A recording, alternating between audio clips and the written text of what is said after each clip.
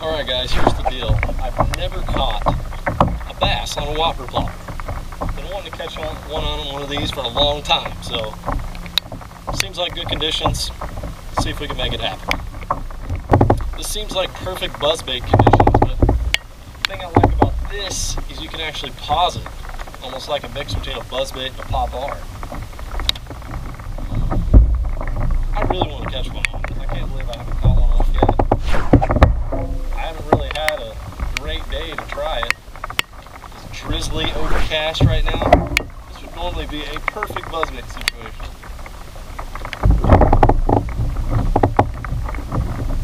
But I just really want to catch one on this whopper plopper because it's fun to say.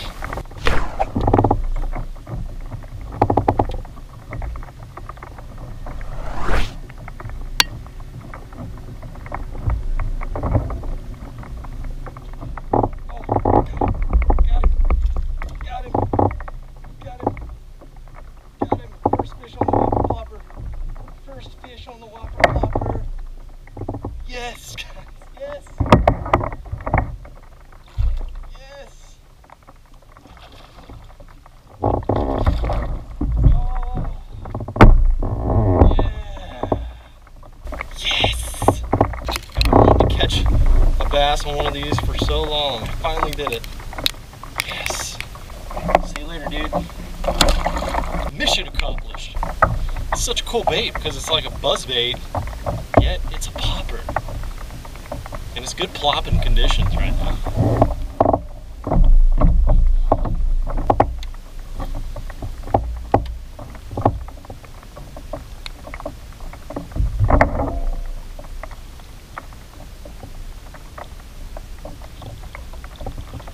Oh, there's another one. There's another one. Got him. Awesome. Those two guys. So I finally caught my first whopper plopper fish. I filmed that video a couple weeks ago. Perfect overcast, rainy conditions, just look like perfect buzzbait weather or spook. And I, was, I just said, you know what? I'm gonna commit to the whopper plopper till I catch fish on it. And I did, almost got two fish on it. And I've since caught more bass on it. I've really started building confidence in it. It's a great little bait. I just to kind of dive into it a little bit more with you. So uh, this this color is called T1000, which I really like. This is the 90 size. They also make it in a 130 size, which I also have.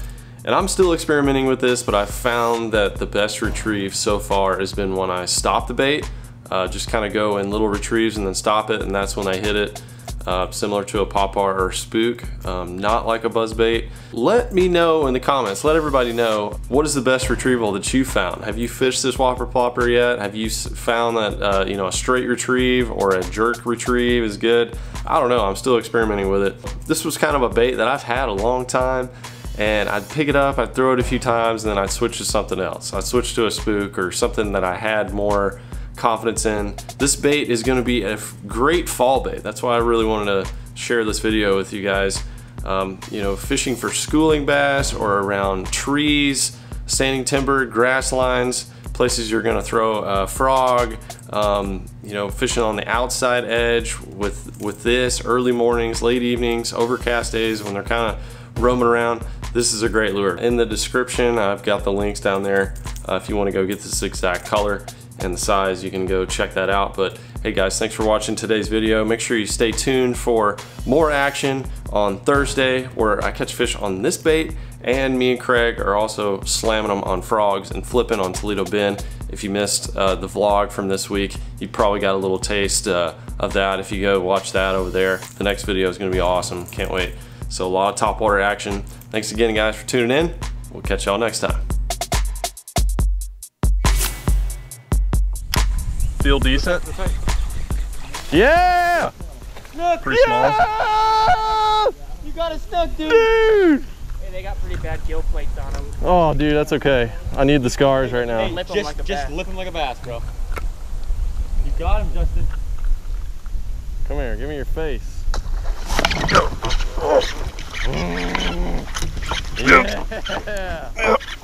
Finally got me a snook. First one.